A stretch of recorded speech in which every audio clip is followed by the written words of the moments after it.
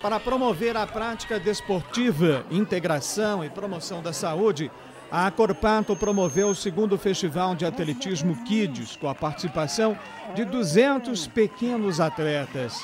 Um evento esportivo para confraternizar e promover o esporte.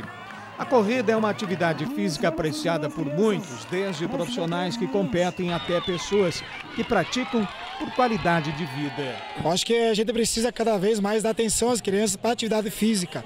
Né? E isso é que eles querem. Eles, eles, querem se movimentar, brincar, se divertir. Olha a força do esporte, a família marcando presença, trazendo as crianças, incentivando essas novas gerações a sair um pouquinho daquele mundo virtual do celular para a vida real aqui fora, uma vida muito mais saudável.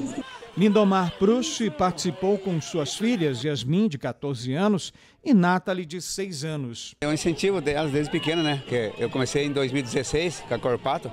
Estamos aí. Uma... o, o esporte faz toda a diferença. Com certeza, né? É bom para a saúde, para tudo, né? É bom fazer, tipo, ginástica, assim, bom para a saúde.